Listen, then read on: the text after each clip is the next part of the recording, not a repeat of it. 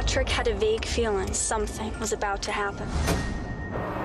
Something in the breeze of twilight had whispered, It's going to happen tonight.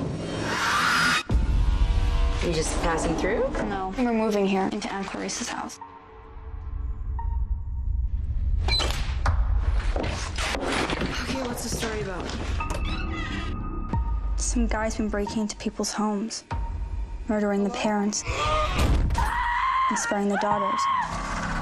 He stays in the house with her, along with the parents' dead bodies. I like to write stories.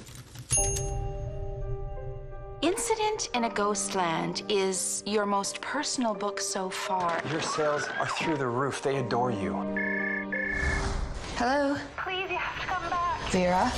They never should have stayed in that house. Capacity to create your own worlds. I guess the question is why write this book? To keep from going insane.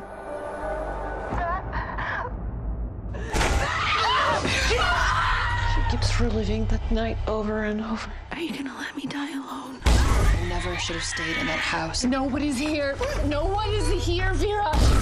I know what you want from your sister.